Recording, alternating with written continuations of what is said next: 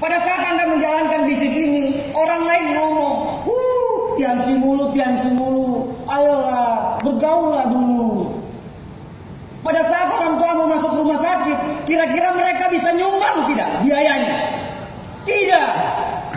Mereka cuma tahu ngomong, cuma tahu menghina. Tapi pada saat kita susah, kita sendiri loh. Yang harus menanggung semuanya. Jadi ngapain Anda harus dengar orang lain? Orang lain itu cuma tidak mau lihat Anda berkembang kok. Karena mereka sudah keburu ngomong duluan. Jadi bagi Anda yang member, nggak ada urusan. Banyak orang-orang sukses kok, yang tinggal Anda tiru. Tinggal Anda tiru saja. Jadi kalau Anda tanya kenapa kami tetap bertahan di tempat ini, karena banyak impian yang harus kami wujud. Bapak Ibu sekalian, izinkan saya hari ini memperlihatkan kepada Anda 95 persennya saya Kenapa saya bisa fight di bisnis ini? Saya punya orang tua. Orang tua saya ini luar biasa.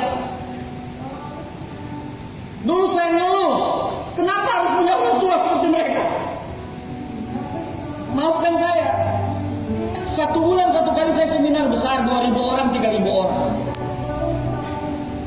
Tapi untuk sesi ini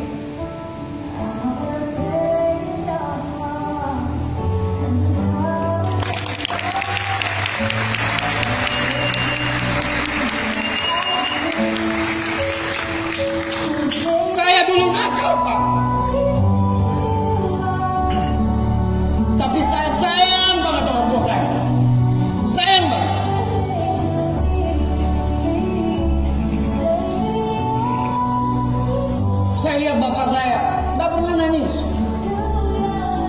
Nggak pernah nangis. Sekalipun nggak pernah nangis. Saya tahu tempat duduknya di rumah itu di mana, tempat kesayangannya, kopinya, tempat kopinya. Jangan nanya nggak boleh duduk di situ. Saya tahu banyak masalah, banyak utang.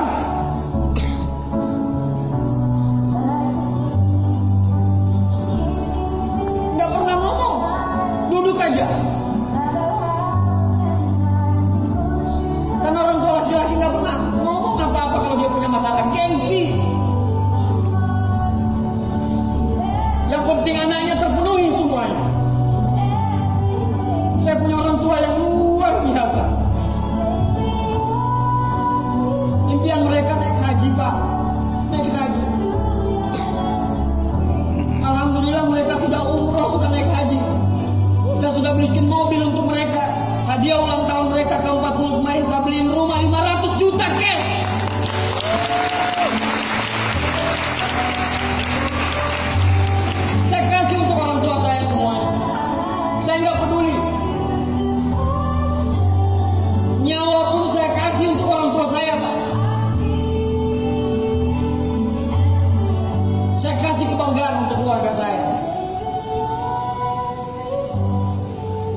Nih, laki-laki yang luar dia.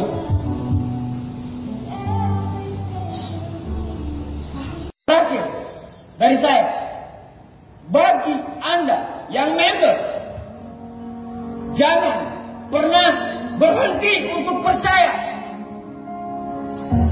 Jangan pernah berhenti untuk percaya pada dirimu.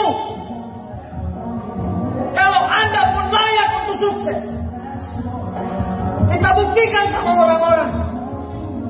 Kalau kita benar di bisnis ini. Kita kerja keras mati-matian. Tidak usah takut. Anda jatuh. Bangkit lagi. Jatuh. Bangkit lagi. Jatuh. Bangkit lagi. Jatuh. Bangkit lagi. Jatuh.